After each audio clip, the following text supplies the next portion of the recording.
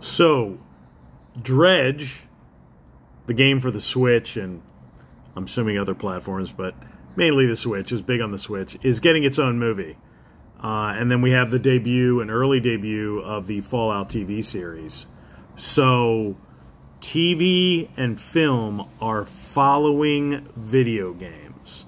And that is a trend that is going to explode. I'm probably going to do a separate video just on that.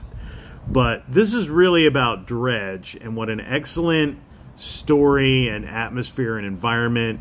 Uh, the creators are, are pitching that it's going to be a, a cross between Ernest Hemingway and Lovecraft.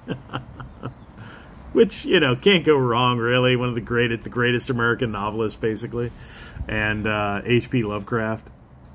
So, uh, yeah, I'm all for that. I'm all for that. I would love to see a Dredge film. Just keep it